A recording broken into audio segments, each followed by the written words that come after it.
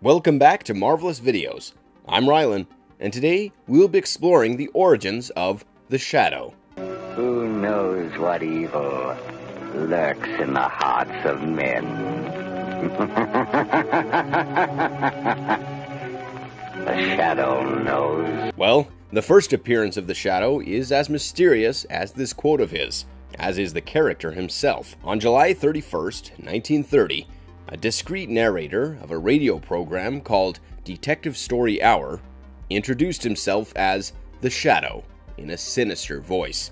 As the character gained popularity, a publication named Street and Smith hired Walter B. Gibson to create a character that matches the narrator's name and voice. His first appearance on print media came on April 1st, 1931, in the story named The Living Shadow. The Shadow knows. As a character, the Shadow is a master of disguise, an expert gunslinger, and he also possesses powers like telekinesis and hypnosis. He uses disguises to fight crime and criminals in and around New York, while taking help from several sidekicks. Boss, you okay? Cobalt Club. He was born as Kent Allard and went on to become a remarkable Air Force pilot during World War I. By a happy mistake, he crash landed in the jungles of South America, where he found a city of gold and made a fortune for himself. After learning several ancient skills from a master, he faked his death and started to assume identities of other men, the most significant of which being a man named Lamont Cranston.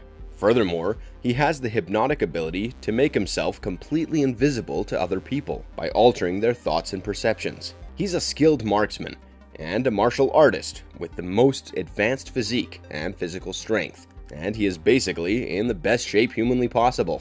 Apart from using his mind and his body for hunting down criminals, he uses a pistol and a Thompson 42 submachine gun. In 1994, Alec Baldwin starred in The Shadow as its main protagonist. Before we go deeper into today's analysis, we have a very small request. If you like our content, please support us by subscribing to our channel. This is a small step for you, but for us, it means a lot. Thanks! Now, on with the video. Blue Coal presents The Shadow, a man of mystery who strikes terror in the very souls of sharpsters, lawbreakers, and criminals. The Shadow started out as a radio program. In 1930, Street and Smith Publications decided to adapt the then famous detective story magazine to a radio format. It was then felt that since detective stories revolve largely around mystery and suspense, a mysterious storyteller should introduce the radio program. The name given to this mysterious storyteller was The Shadow, a suggestion that came from a young scriptwriter named Harry Charlot. The Shadow went on air for the first time on July 31st, 1930, and hosted the Detective Story Hour, where he narrated Blue Coal presents The Shadow, a man of mystery who strikes terror in the very souls of sharpsters, lawbreakers, and criminals. At first, it was narrated by James La Curto, but The Shadow became a national sensation when Frank Readick Jr. took the reins. His voice quality was hauntingly wheezy and sibilant, a quality that thrilled his listeners. The Shadow also hosted segments like the Blue Coal Radio Review and Love Story Hour. Although The Shadow went off the air for a brief period, he came back with his own radio drama on September 26, 1937. Interestingly, the character of Margot Lane was also introduced in this radio drama, a character that Penelope Ann Miller later portrayed in the 1994 film. I'll show you my instincts. The Shadow, illuminating the print media. Just like several of his contemporary superheroes like the Phantom, The Shadow started his comic career through a syndicated daily newspaper comic strip. He made his first appearance on July 17, 1931, in a comic strip by the Ledger Syndicate, with stories adapted from the Shadow pulps. The comics, however, had to be cancelled in 1942, when there was a shortage of space in newspaper owing to war news. But fortunately, in 1988 and 1999, the Shadow dailies were collected and published into two comic book series. The Shadow regained some of its popularity following the war. However, during the superhero revival witnessed in the 1960s, Archie Comics published The Shadow, an eight issue comic series. In the 1970s, DC Comics published the character. Furthermore, The Shadow appeared in Batman issue number 253 as well as 259. In issue 253, Batman seeks the Shadow's help and calls the Shadow his greatest inspiration, while in the latter comic, it is revealed that the Shadow had once saved Batman's life when he was just a boy. In 1988, Marvel Comics published a graphic novel named The Shadow, 1941, Hitler's Astrologer. Uh, Ying Ko, I surrender. You're finished, Khan. In 1989, DC Comics too released a graphic novel named The Private Files of the Shadow, which was essentially a re release of the previously printed issues. In the 90s, Dark Horse Comics also published a few The Shadow comics, including a crossover between The Shadow and Doc Savage in 1995. In 2011, Dynamite Entertainment gained The Shadow's license and developed a comic series written by Garth Ennis this one was set in the Shadow's original timeline of the 1930s. In 2012, Dynamite Entertainment once again published The Shadow, in which he teamed up with other Dynamite superheroes, including the Green Hornet, the Spider, Zorro, and many others. In 2015, Atlas Press published the novel The Sinister Shadow, written by Will Murray, who used some of the unpublished stories by Lester Dent. The story revolves around a conflict between Doc Savage and the Shadow during a crime wave in 1933. You're not going to pay any attention to these reports. We will. We can bring Gotham back. The Shadow and Batman. Batman first encountered the Shadow as a little boy when he goes to the bank with his parents, and the place is ambushed by robbers. The Shadow quickly thwarted the robbery in a violent manner. Later, Batman met an elderly Shadow, where Batman revealed to the Shadow how he was one of Batman's greatest inspirations. The Shadow simply responded by saying that the Shadow knows. If you wish for us to explore the details of this comic, please let us know in the comments, and we will be happy to oblige. For the bourbon. We will meet. The Shadow Origin Kent Allard served as a spy during the First World War. He was a famous aviator who crashed in the jungles of South America and made a fortune by discovering gold in the region. After returning to New York, he assumed a new identity because he bore striking resemblance to a man named Lamont Cranston. Kent assumed Cranston's identity without the latter's knowledge and used it in his adventures and travels around the world. You will give me no further thought. Are you drunk? However, the two finally met one day, and Kent Allard threatens Lamont Cranston, saying that Kent had arranged for switching the signatures on several important documents that would enable Kent to permanently assume Cranston's identity. But this could be averted if Cranston willingly allowed Kent to let him use the former's identity when traveling abroad. Naturally, Cranston was horrified by what he just learned and obliged with Kent Allard's request or rather, threat. The more significant contributing factor was Cranston's wish to maintain a safe distance from Allard. Kent took the help of several associates, like Harry Vincent, whose life Kent once saved. Among others were Moe Shrevnitz, who was a cab driver, and Burbank, who was a radio operator. There were a few other people as well, but they were so discreet that only Kent Allard knew who they were.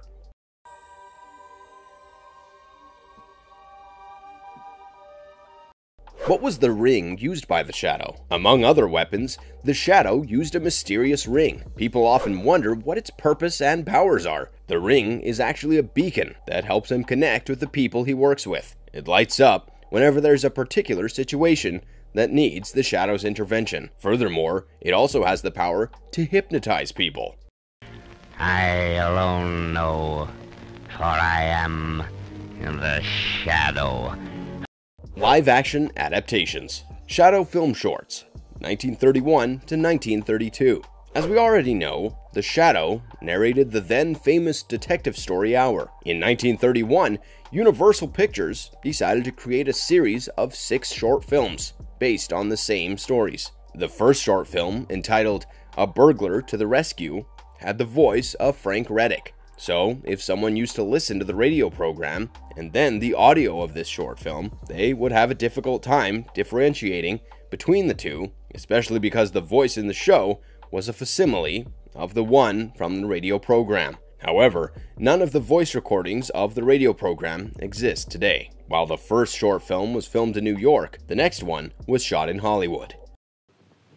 Drop that gun. Leave that paper in this house. The Shadow Strikes, 1937. Released in 1937, The Shadow Strikes starred Rod La Rocque in the titular role. The story revolves around Lamont Cranston, assuming the identity of the Shadow to thwart a robbery at the office of an attorney. It was released by Grand National Pictures and did fairly well when compared to the other short films. Of hearing Honest John in person. You mean I was on the air? You were, John, and thank you. International Crime, 1938. International Crime was a sequel to the 1937 film The Shadow Strikes. Rod La Rocque reprised his role from the previous film, but in this one, he was a reporter, a novice detective, and criminologist who used the title of The Shadow as a gimmick.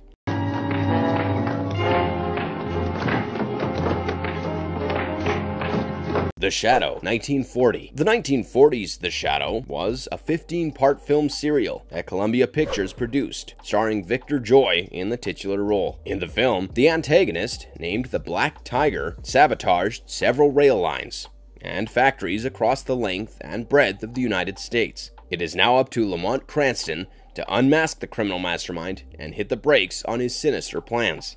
Jory wore a black suit and cape, apart from a black bandana that helped him conceal his alter ego. Apart from these, Monogram Pictures released three B movies based on The Shadow in 1946 and in 1958, respectively, and a theatrical feature entitled The Invisible Avenger. You don't scare me! You son of a... The Shadow, 1994. After the First World War, Lamont Cranston gave in to his dark desires and instincts to set himself up as an opium kingpin and warlord under the name of Ying Ko, which meant Dark Eagle in a dialect of Mandarin. However, servants of a holy man with otherworldly powers named Tulku abducted Cranston and presented him to the Tulku. He offered Cranston a chance at redemption by becoming a force that fights for the good in the world. You will be redeemed, because I will teach you to use your black shadow to fight evil. Cranston initially refused the offer, but ultimately gets silenced by a sentient mystical dagger called Phurba. Following this, he remained a student under the guidance of Tulku for the next seven years. He learnt several lessons, including hypnotism, mind reading, bending the perception of other people so that he literally becomes invisible to them, except for his shadow. Years later, he returned to New York and assumed his former life as a wealthy playboy. Do you smell Batman? However, he secretly operated as the Shadow and terrorized New York's underworld and crime networks. To help him with his objective of fighting crime and criminals, he recruited several people as his agents, whom he had earlier saved from criminals. His secret identity was safe for quite some time, only to be threatened upon crossing paths with Margot Lane, a woman with telepathic abilities. Meanwhile, Shiwan Khan wakes up in a sarcophagus that once held his ancestor, the great Genghis Khan. Shiwan Khan wanted to walk on Genghis Khan's path and wished to achieve the goal of world domination. Shiwan was also a crude murderer and Tulku's rogue protege, who was far more powerful and able than even Cranston. He displayed his talents for the first time by making a guard shoot himself when the latter refused to join Shiwan's army. Despite holding the upper hand in terms of power over Cranston, Shiwan knew that only Cranston could pose a threat to his plans so he offered Cranston a place by his side. Nonetheless, Cranston refused. Later, Cranston retrieved a coin from Shiwan Khan that was made of bronzonium, an element that could, in theory, facilitate an atomic explosion. Meanwhile, Margot Lane's father, Reinhardt, was missing. Reinhardt was a scientist, working on an atomic device for the government. Naturally, Shiwan Khan needed Reinhardt to finish manufacturing his personal atomic bomb. Khan tried to use Margot as a pawn to kill the Shadow. He hypnotized her and ordered her to kill the Shadow, but she landed up at Cranston's house instead. Although Cranston managed to break her out of the hypnosis, she realized that Cranston was in fact the Shadow.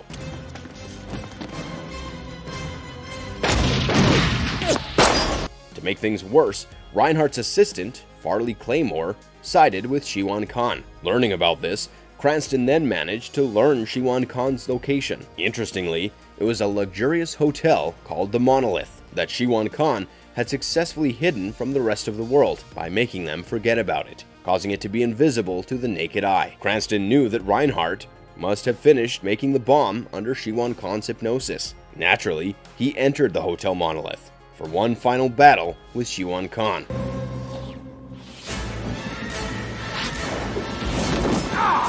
Claymore attempted to kill Shiwan Khan, but Cranston hypnotized him and made him jump to his death out of the balcony. However, Cranston was soon subdued by the mystical sentient dagger, the Phurba. He realized that only a peaceful and calm mind could control it.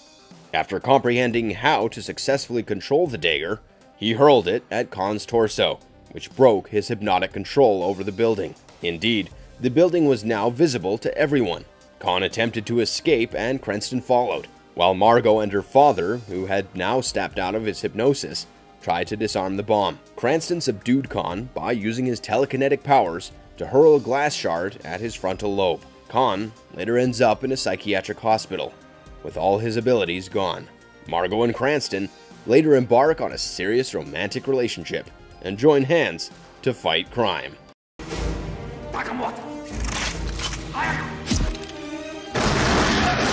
Unsuccessful Attempts TV series. In 1954, Tom Helmore was cast as Lamont Cranston, but it didn't see the light of day. There was another attempt made in 1958. The show was to be called The Invisible Avenger, with Richard Derr starring as the Shadow. Due to some unavoidable circumstances, they couldn't finish the production, and the first two episodes of the show were compiled and aired theatrically instead. It was re-released in 1962, with some more footage added.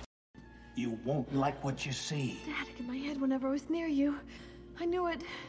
Sam Raimi's unmade Shadow feature film. It was reported in 2006 that Sam Raimi and Michael Uslan would produce a new film starring the Shadow for Columbia Pictures. The script was rumored to have been written by Siavash Farahani, and it was also to feature some other pulp superheroes of Street and Smith, like Doc Savage, The Avenger, and more. In 2007, Sam Raimi told the media that his company had obtained the rights to the Shadow and were working on a story that would do justice to the character. But five years later, in 2012, Sam said that the project had to be cancelled because of the lack of a workable script.